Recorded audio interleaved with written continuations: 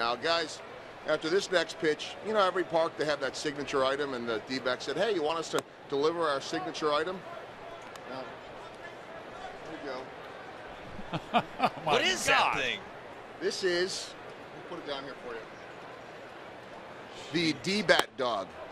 It's a corn dog. It is wow. an 18-inch corn dog that is stuffed with cheddar cheese, jalapenos, bacon, with a side of fries that takes two days to make.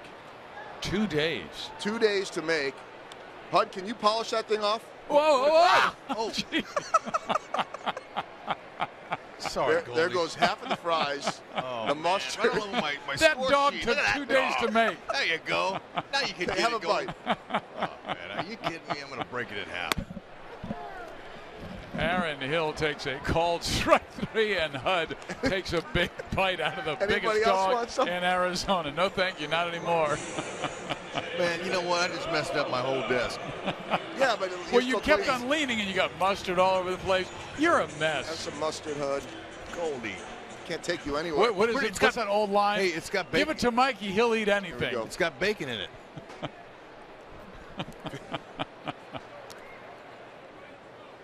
Fizz, you want some? Uh, you know what?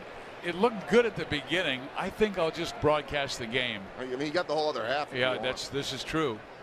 And we've got that flight back home to Kansas City. I understand the corn was grown in the state of Kansas, so that is it's got to be quality. You're just making that up now.